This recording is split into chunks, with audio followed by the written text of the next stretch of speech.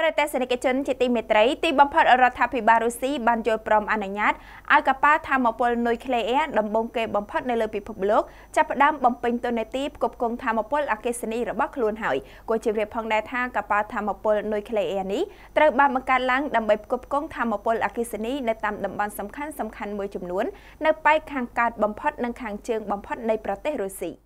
នៅទីបំផុតរដ្ឋាភិបាលរុស្ស៊ីបានយល់ព្រមអនុញ្ញាតឲ្យកប៉ាល់រោងចក្រធម្មពលនុយក្លេអ៊ែរដំបូងគេបំផុតមួយ នៅលើពិភពលោកឈ្មោះ Academic Lomonosov ចាប់ផ្ដើមបំពេញតួនាទីផ្គត់ផ្គង់ធម្មពលអគ្គិសនីរបស់ខ្លួនហើយនេះបើតាមក្រុមហ៊ុន Rosatom ដកស្រង់ចេញផ្សាយដោយសារព័ត៌មាន Sputnik នៅល្ងាចថ្ងៃប្រហ័សទី27ខែមិថុនាឆ្នាំ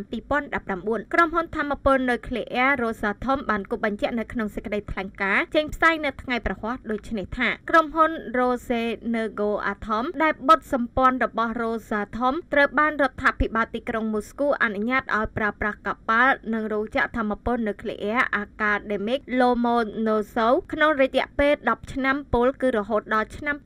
2029គូបញ្ជាក់ថា Academic Lomonosov ត្រូវបានផលិតឡើងក្នុងគោលបំណងផ្គត់ផ្គង់ធម្មពលអគ្គិសនីដល់តំបន់សំខាន់មួយចំនួនស្ថិតនៅភាគខាងជើងបំផុតនិងខាងកើតបំផុតរបស់រុស្ស៊ីកប៉ាល់រោងចក្រធម្មពលនុយក្លេអ៊ែរមានបំពាក់ដោយ reactor KLT